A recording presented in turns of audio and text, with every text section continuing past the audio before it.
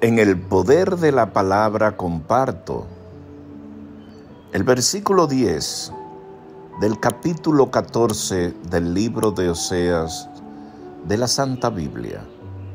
Si alguien es sabio, que comprenda estas palabras, y si es inteligente, que las entienda, pues los caminos del Señor son derechos, y por ellos caminan los buenos mientras que los malos en ellos tropiezan.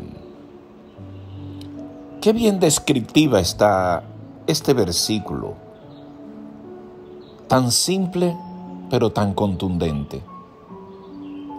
Los caminos del Señor siempre son derechos, no están torcidos, no se doblan.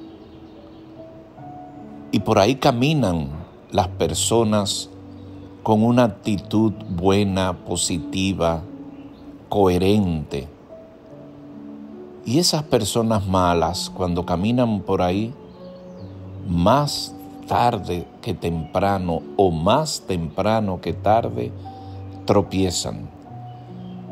Sigamos los caminos del Señor, escuchemos su palabra y sobre todo, poned atención a cumplirla mañana, tarde y noche. No hagamos de la palabra un cumplimiento por momentos, cuando estamos en la iglesia, cuando escuchamos el poder de la palabra o cuando tenemos una reflexión ante la belleza de la naturaleza. Que sea siempre, inclusive en las dificultades, inclusive en los placeres, siempre caminemos de la mano del Señor. Feliz resto del día.